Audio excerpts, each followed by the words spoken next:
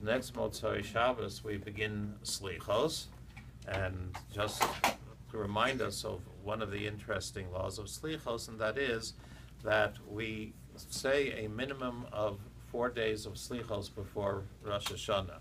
And when Rosh Hashanah mm-hmm. comes out in such a way that we don't have the four days, we'd start the Slichos instead of the Saturday night before, but the week before that, to give us a minimum of four days.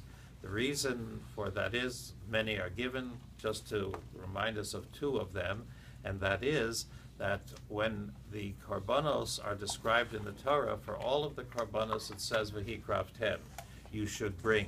When it comes to the korban of Rosh Hashanah, it says va'asisem, you should make, you should do. And it's understood to mean that it's not just the bringing of it, but va'asisem, but it is to make, as if to say you should make yourself the korban. Now, a korban, sacrifice before being offered, had to have bikur, had to have examination for four days to make sure there was no mum, no defect in it.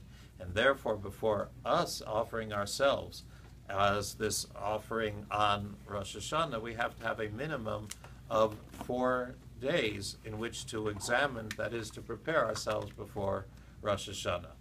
Another reason that is given for this is is that when it comes to the days of slichos, there are those who have the custom of fasting for ten days for the Aseres Yemei Tshuva.